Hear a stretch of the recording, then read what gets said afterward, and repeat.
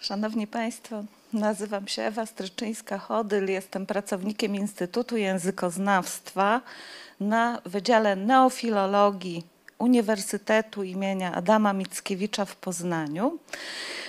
I witam Państwa na swoim wykładzie, który nosi tytuł Poćwiartowany wąż i drzewa. Tytuł może trochę intrygujący, ale prawda jest taka, że na początek interesuje nas wąż i same drzewa. Poćwiartowanego zostawmy sobie w spokoju i możemy sobie zadać dwa pytania. Pierwsze, czy drzewa i węże mają dla Bałtów jakieś szczególne znaczenie? I drugie, jeśli tak, jeśli mają takie znaczenie, to czy my mamy na to jakieś dowody? Jeśli mamy na to dowody, no to gdzie ich szukać? E, no oczywiście w źródłach. I y, są dwa typy źródeł do mitologii Bałtów, mianowicie źródła historyczne, czyli kroniki, dokumenty oraz folklor, który jest może młodszym trochę źródłem, bo naukowcy, badacze zaczęli y, y, zwracać szczególną uwagę na folklor dopiero tak naprawdę w XIX wieku. No ale zacznijmy od źródeł historycznych. Kilka przykładów na to, że drzewa i węże odnotowane są w źródłach historycznych. Y, po pierwsze, bulla Innocentego III z 1199 roku y, odnotowuje rzecz następującą, mianowicie, że Bałtowie, te dzikie plemiona, oddawały cześć zwierzętom, liściastym drzewom, czystym wodom, kwitnącym y, y, kwiatom, no i oczywiście nieczystym duchom.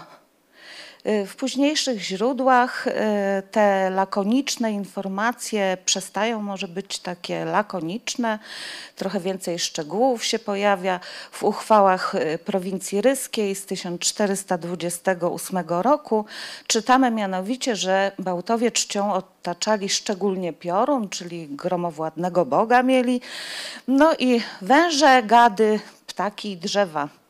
Oczywiście gady, węże y, dla nas są tu bardzo interesujące, drzewa i y, wydaje mi się, że należy zwrócić uwagę y, już na informację w tym pierwszym źródle, że jeśli mowa o drzewach, to zazwyczaj chodzi o drzewa liściaste.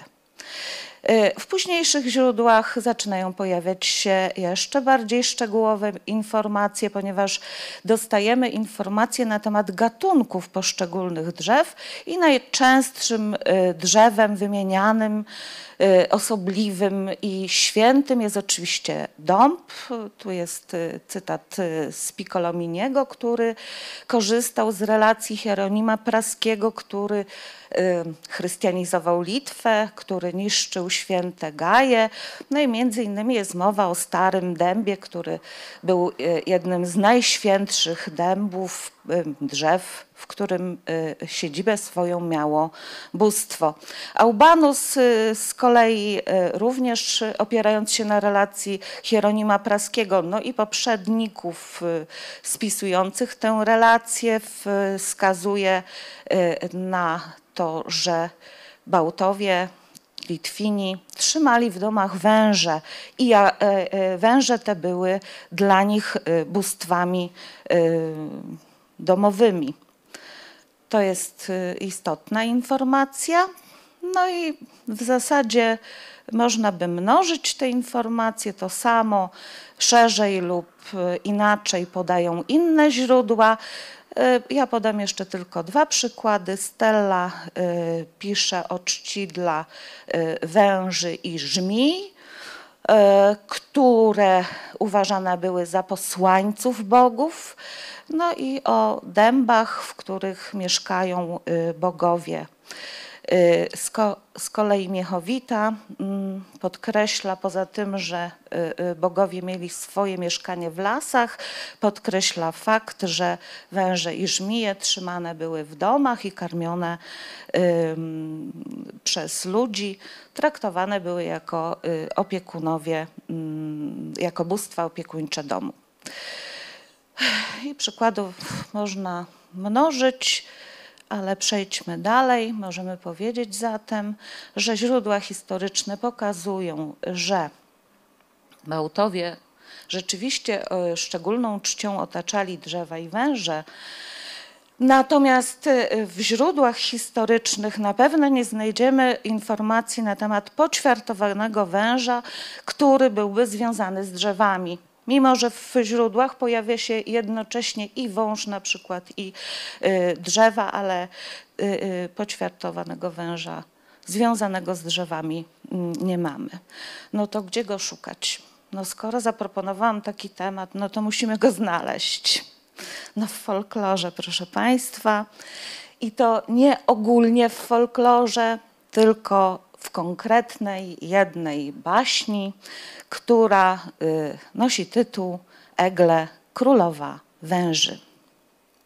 No to teraz dla Państwa pytanie, czy znacie, być może znacie, y, przez przypadek Zdarzyło się tak, że polska telewizja y, y, y, teraz pokazuje film, w którym pojawia się bohaterka imieniem Egle. Jest to postać, która przybyła z Aldoną, czyli królową Anną, żoną Kazimierza Wielkiego do Krakowa. No i ta postać właśnie nosi imię Egle.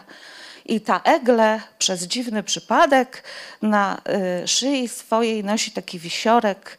Jak widzicie, jest to wąż. No wąż i egle, jeżeli popatrzymy na y, Litwę i kulturę Litwy, no, y, są w zasadzie nieodłączni, no ale nie o te egle nam chodzi.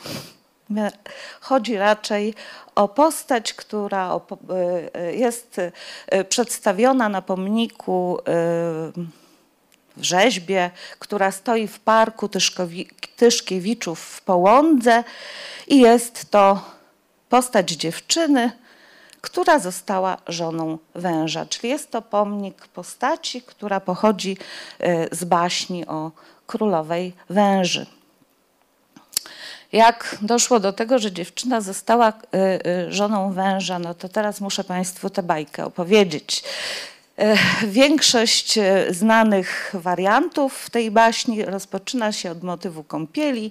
Dziewczyny, zazwyczaj trzy, e, poszły się kąpać. Najmłodsza z nich, gdy chciała się ubrać, spostrzegła węża w koszuli, w rękawie swojej koszuli. Wąż powiedział, że odda jej rzeczy tylko wówczas, kiedy ona przyrzeknie mu, że zostanie jego żoną. Co było robić? Dziewczyna przyrzekła. No i wąż przysłał do rodziców oczywiście swatów. Y, nie we wszystkich wariantach tej baśni mamy próbę oszukania swatów. W każdym bądź razie, bez względu na wszystko, dziewczyna musi pójść do tego, komu przyrzekła swoją rękę, i nad brzegiem wody spotyka miast węża, już tym razem pięknego, cudownego młodzieńca, z którym udaje się do jego siedziby, a siedziba ta znajduje się pod wodą, w podwodnym pałacu. Tam żyją Szczęśliwie rodzą im się dzieci, zazwyczaj dwóch lub trzech synów i najmłodsza córeczka. No, oczywiście w pewnym momencie dziewczyna tęskni za swoim domem, no i e, wąż po różnych perypetiach pozwala jej z dziećmi odwiedzić e, rodzinę. W trakcie tych odwiedzin rodzina naszej bohaterki stara się znaleźć sposób na to, by zatrzymać swoją córkę, siostrę wraz z jej dziećmi w domu. Żeby tego dokonać, musi pozbyć się węża. A żeby się go pozbyć, musi wydobyć formułę. Różnymi sposobami bracia Egle wydo próbują wydobyć formułę, to im się udaje, biorą narzędzia i idą nad brzeg morza, wypowiadają odpowiednie słowa, po czym zabijają węża. No, zabijają, ćwiartują, tak, w okrutny sposób, krótko mówiąc, pozbywają się swojego szwagra. E, kiedy żona węża wraca z dziećmi na brzeg morza e, i widzi, że wąż nie żyje, rzuca na siebie i swoje dzieci przekleństwo, wskutek którego ona sama i jej dzieci zamieniają się w drzewa. No i oczywiście te dwa elementy, czyli metamorfoza rodziny węża, zamiana w drzewa oraz y, poćwiartowanie węża, które poprzedza tę metamorfozę, są w zasadzie tym istotnym elementem mojego wykładu, najważniejszym. To teraz kilka słów mimo wszystko ogólnych na temat y, samej bajki. Leonard Sauka y, zauważa, że najwięcej y, wariantów i najbardziej popularna jest ta bajka wśród oczywiście bałtów. Zresztą y, właściwie na początku w Międzynarodowym Katalogu Bajek Arniego i Thompsona istniały tylko bałtyckie warianty żeby udowodnić, jak jest ich dużo, to przywiozłam jeden z tomów, tak? To jest y, zawierający wszystkie warianty litewskie. No i e, e, Sałka zwraca również uwagę, że ta bajka zawładnęła umysłami twórców. Rzeczywiście stała się tematem wielu dzieł literackich i tu mamy jeden tom nie są tu wszystkie, jest jeszcze drugi tom wydanych dzieł, w których y, autorzy opierają się na tym motywie. Poza oczywiście tekstami literackimi mamy y, y, witraże, mamy sztuki baletowe, teatr i krótko mówiąc, i krótko mówiąc, rzeczywiście Sałka się, jeżeli o te sprawy chodzi, nie myli. Y, dla y, zobrazowania, ile jest tych wariantów bałtyckich, pozwolę sobie y, powiedzieć, że litewskich wariantów jest 182 Natomiast łotewskich 87.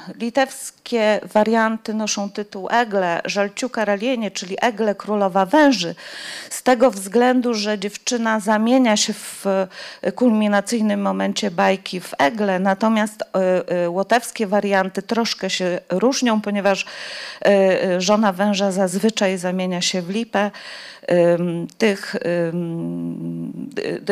te łotewskie warianty noszą tytuł Zalksza Ligawa, czyli żona węża.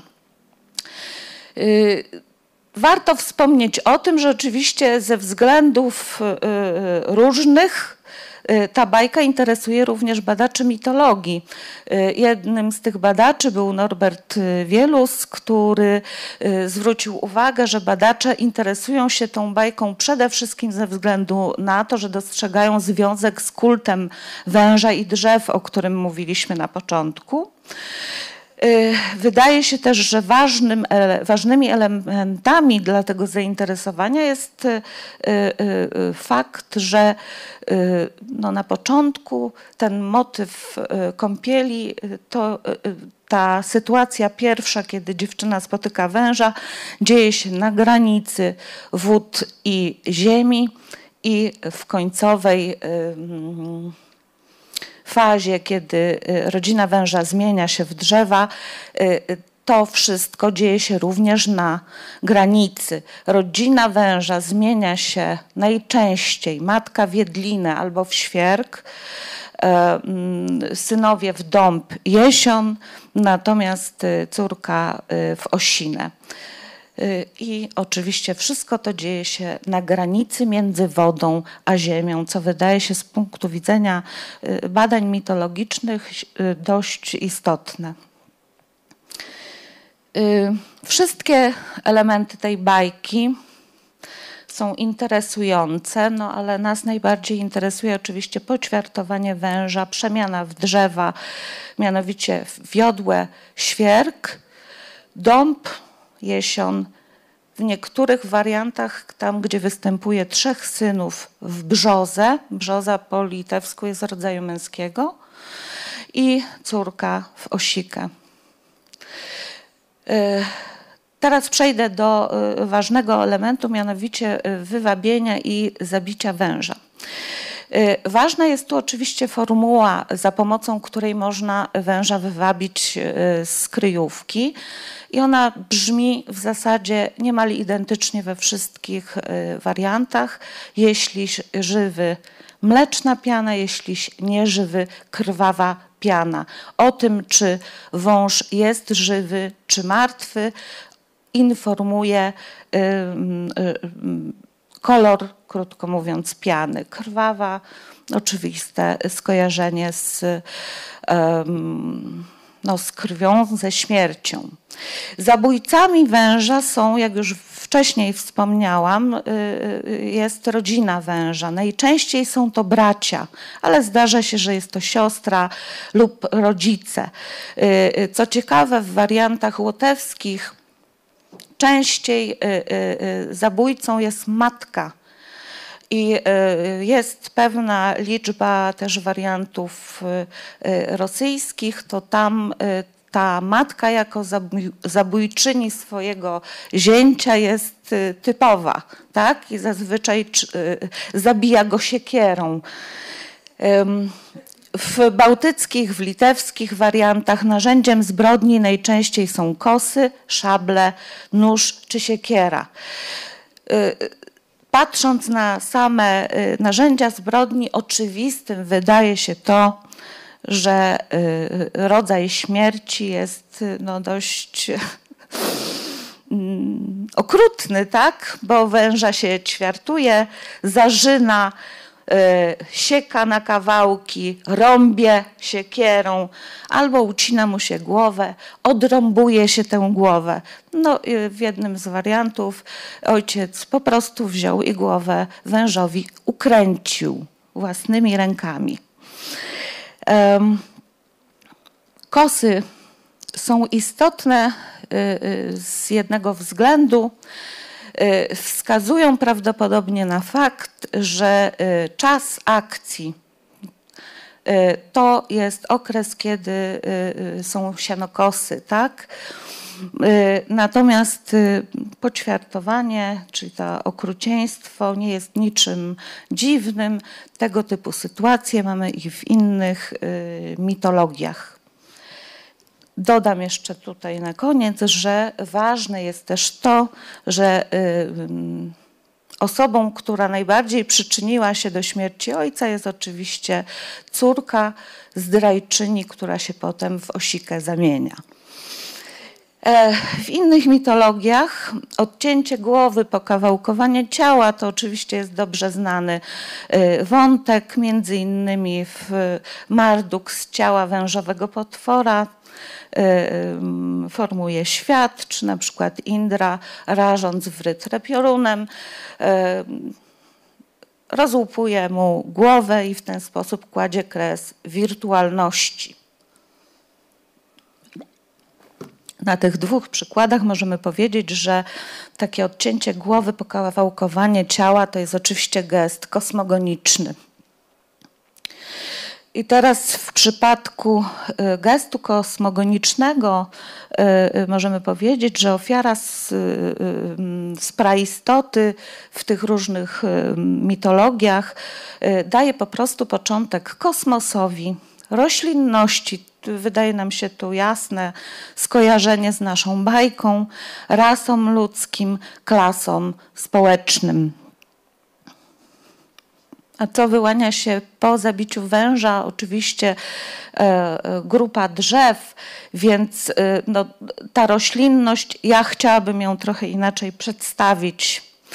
Konsekwencje zabicia węża, jak popatrzymy na tę bajkę, są przede wszystkim takie, że oddziela się y, y, ostatecznie w jakimś sensie wody od ziemi. że powstaje rzeczywista granica. To znaczy przedtem, przed tym momentem zabicia węża, jeśli przyjmiemy, że jego zabicie jest gestem kosmogonicznym, ta granica była płynna. Y, w tym wymiarze takim ludzkim, może dla bohaterów, y, oznacza, y, zabicie węża oznacza po prostu utratę domu rodzinnego, po czym następuje właśnie metamorfoza Przyczyny tej metamorfozy no możemy sobie tłumaczyć z tego ludzkiego, zwykłego e, punktu widzenia, że rozpacz matki, żony jest tak wielka, iż po prostu e, nie widzi już dla siebie miejsca na ziemi, nie może żyć z tymi, którzy zabili jej męża, a do świata podwodnego powrócić nie może. Powstaje zatem jakby nowy sposób istnienia, pojawiają się nowe formy, powstaje grupa drzew, przy czym we wszystkich pierwszych wariantach podkreśla się fakt, że od tego momentu, tak, e, z, tego, z tej to właśnie przyczyny powstał dąb, jesion, e, jodła i osika. E, co daje wrażenie, że jeśli porównamy to z, mm, ze źródłami historycznymi, że e, e, ta fabuła, ta bajka musi być zamierzchła, wcześniejsza niż wszystkie nasze teksty historyczne, o których wspominaliśmy. Że gdzieś tam na początku świata litewskiego zdarzyło się to, i dopiero w tym momencie ten świat zaczął istnieć. Ja chciałabym zaproponować e, taką interpretację, postawić pytanie, no bo każde z tych drzew jest inne i zastanowić się nad tym, czy ich pojawienie się jest tylko um, nawiązaniem do powstania roślinności, czy może właśnie jest, krótko mówiąc, powstaniem świata, czyli kosmosu uporządkowanego. Jak popatrzymy na to w jaki sposób postrzega się y, y, te poszczególne gatunki drzew w folklorze, ale też w źródłach historycznych, to można powiedzieć tak, że jodła świerk u Bałtów ma przede wszystkim matczyny wizerunek. Ona w źródłach historycznych w zasadzie nie istnieje poza jednym. U y, Pretoriusa to jest wiek XVII, końcówka wieku XVII, pojawia się tylko wspomnienie o jednej świętej jodle, która, do której przychodzili ludzie, między innymi chorzy na przepuklinę. Miała tak zrośnięte e, gałęzie, że przechodząc przez nie leczyli te swoje e, dolegliwości. Tak? Natomiast y, y, y, w innych źródłach tych drzew szpilkowych właściwie nie ma. Natomiast Ada Zęb zauważyła, że w, w bajkach, gdzie, tam gdzie pojawia się jodła, świerk, czyli egle, bohaterowie, którzy są w opałach, kiedy znajdują się w jej pobliżu, w pobliżu tego drzewa, ich Y, sytuacja zmienia się diametralnie na lepsze i krótko mówiąc, y, y, zęb właśnie sugeruje, że jest to taki matczyny wizerunek tego drzewa. Ale z drugiej strony możemy powiedzieć, i znamy to też z naszej kultury, że świerk, jodła Y, ma zdecydowanie funeralny charakter. Tak? W źródłach etnograficznych y, y, dostrzegamy, że, że o, to drzewo wiecznie zielone odgrywa bardzo dużą rolę w obrzędach pogrzebowych.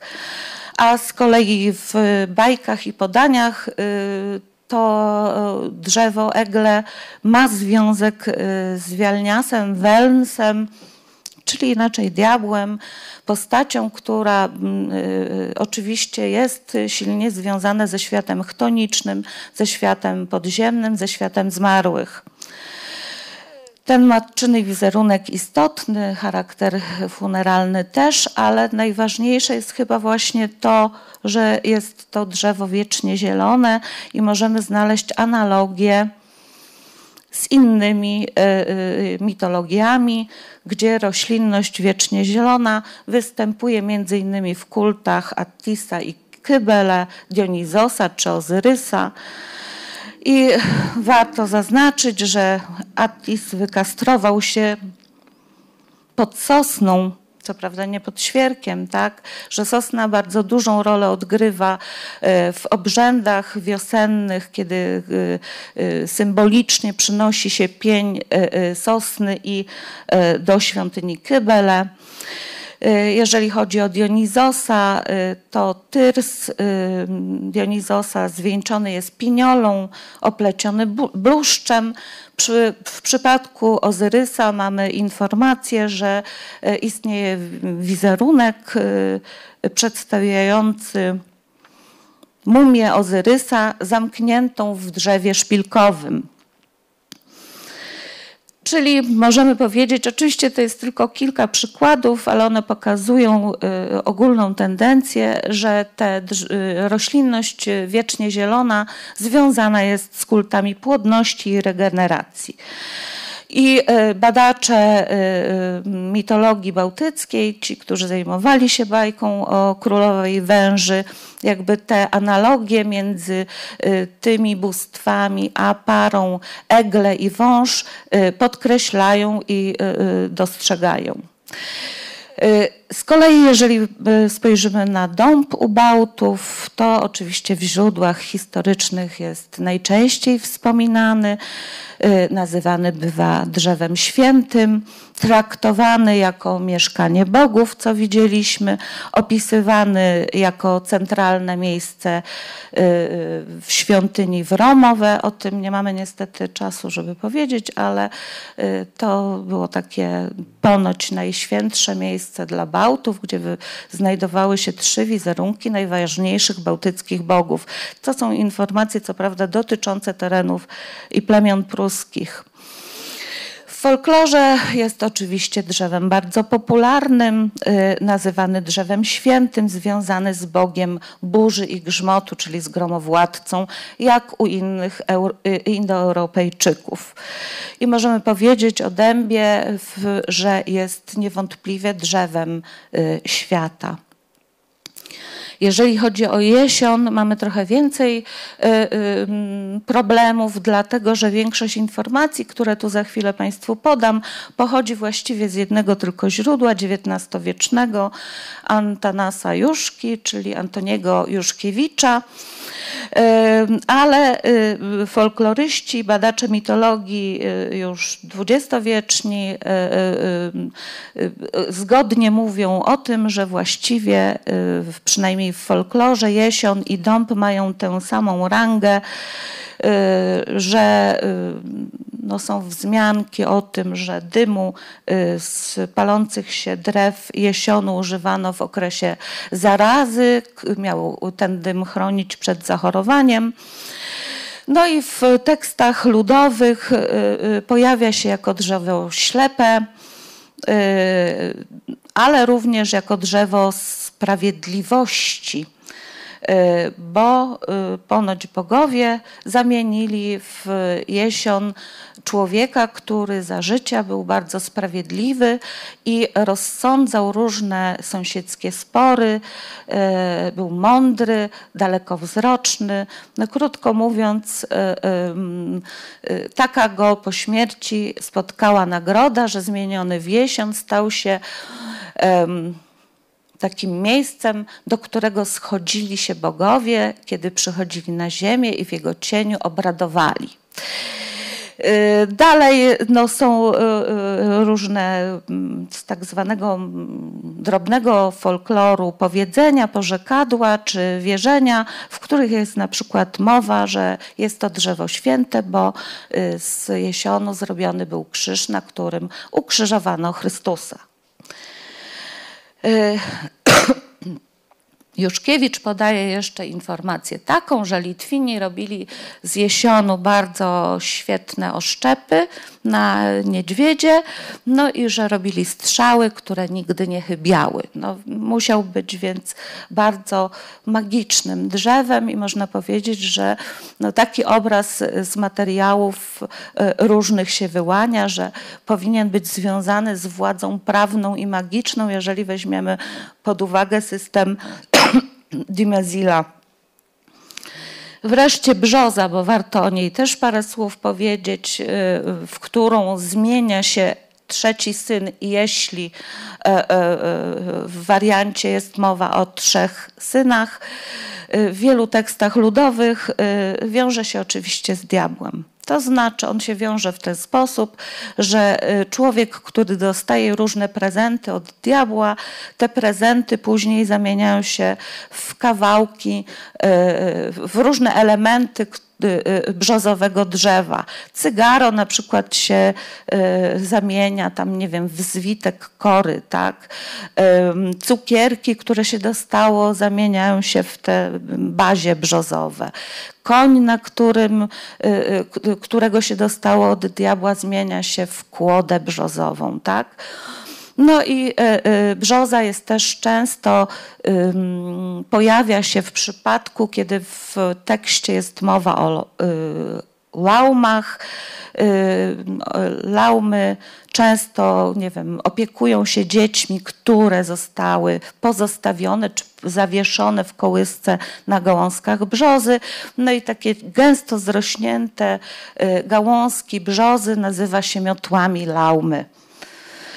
E, jednocześnie poza tym jakby ewidentnym związkiem ze światem chtonicznym tego drzewa, no trzeba powiedzieć, że w folklorze jest to wizerunek mimo wszystko drzewa dobrego i świętego i między innymi na potwierdzenie tego, że to jest drzewo święte, e, e, ta mądrość ludowa przekazała nam, że jest to to drzewo, które uratowało Najświętszą Panienkę uciekającą wraz wraz z Jezusem i Józefem do Egiptu, zasłoniło mianowicie rodzinę e, e, swoimi gałęziami.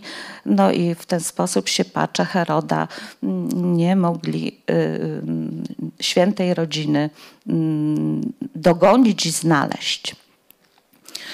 No i oczywiście ona się pojawia, też jej gałęzie pojawiają się w okresie od Zielonych Świątek do Świętego Jana. E, wierzy się w to, że chronią przed uderzeniem pioruna, chociaż z tych najbardziej skutecznych drzew e, czy roślin działających przeciwpiorunicznie to jest chyba jednak jarzębina. W każdym bądź razie ta, ta, możemy powiedzieć, że brzoza jest taka ambiwalentna pomiędzy światem niebiańskim a światem chtonicznym, podziemnym. No, wykorzystywana w codziennym życiu, bo przecież pije się sok, no może dzisiaj już mniej, tak, różne e, e, jej części służyły do wytwarzania różnych narzędzi, sprzętów. Tego się już dziś nie robi, mamy plastik, więc. I wreszcie osika nasza zdrajczyni, tak? Trzeba o tym pamiętać. I e, e, to, że ona jest zdrajczynią, doskonale widać w folklorze. Jest to, krótko mówiąc, i w obyczajowości przynajmniej XIX-wiecznej Litwy, e, uosobienie wszystkiego, co negatywne do niczego się nie nadaje, jest zbędna. Tak? Mówi się, że y, osika nie nadaje się ani na podłogę, ani na to, żeby trumnę zbić, ani w piecu się nie pali. To jest oczywiście obserwacja y, właściwości samego drewna. Rzeczywiście tej osiki, to poli osiki wykorzystywać, y, to się człowiek musiał nauczyć. tak? Dopiero, nie wiem, w XX wieku zaczęło się forniry robić, ale y, dawniej, krótko mówiąc, y, to y, drzewo było, drzewo czy krzew może, no zbędne. Drzewo przeklęte, związane z diabłem, tak? Drzewo, i to jest chyba ważne, nie mam tego na, na a może mam? Zobaczymy. Nieprzydatne, zbędne drzewo, na którym powiesił się Judasz. Tak, jest taki tekst, w którym jest mowa o tym, że Pan Bóg powiedział, że wszystkim drzewom, że mają czuwać, bo Judasz, który zdradził Chrystusa, chce się powiesić. Wszystkie czuwały, osika zasnęła, I w tym czasie przyszedł Judasz i powiesił się na jej gałęziach. Jak się obudziła, to się przestraszyła i dlatego do dzisiaj drży. Tak? Dobrze. Pytanie ważne wydaje się, czy wyłonił się świat. Jeżeli popatrzymy na te, na te drzewa, to y, możemy powiedzieć, że dąb to jest drzewo Boga burzy, tak? Perkunasa czy perkunsa, drzewo świata. Jesion ma związki z magią, mądrością, wiedzą, sprawiedliwością, drzewo święte. Musimy zawsze brać pod uwagę to, że te materiały są skąpe, bo pochodzą z jednego źródła, ale mimo wszystko są i powtarzane są potem przez cały wiek XIX i XX przez innych autorów. Brzoza z kolei to drzewo związane ze światem chtonicznym i chroniące jednocześnie przed postaciami pochodzącymi z tego świata. Jodła czy świerk to jest wiecznie zielone drzewo związane ze światem chtonicznym, y, dostrzegamy w, w, nim symbolikę funeralną, wreszcie osina jako chwast symbolizuje wszystko, co y, no, nieobjawione w formach, tak? To wszystko, co kryje się pod powierzchnią, to, co jest wirtualne, co być może ma możliwości, ale w pełni objawić się nie może, tak? I możemy powiedzieć tak, że dąb z tego punktu widzenia związany byłby ze sferą niebiańską. Jesion z podziemną, biorąc pod uwagę jego mag- y, y, tą, ten związek z magią, ale jednocześnie jego związek ze sprawiedliwością, wskazywałby na e, związki ze sferą niebiańską. No nieżyjący już niestety badacz Beresniawiczus wysnuł taki wniosek, że jesion, tak jak dąb związany jest e, z Bogiem burzy, tak jesion byłby, mógłby być związany e, z postacią Diawasa, Dieusa. Dziś to słowo jest używane w litewskim, łotewskim jako słowo oznaczające po prostu e, Bóg, tak? Natomiast y, przypuszcza się, że ten dievas, Dieus, to jest krótko mówiąc ten pierwotny Bóg rozświetlonego, jasnego nieba, który jest Bogiem wycofanym, który ustąpił miejsca gromowładcy.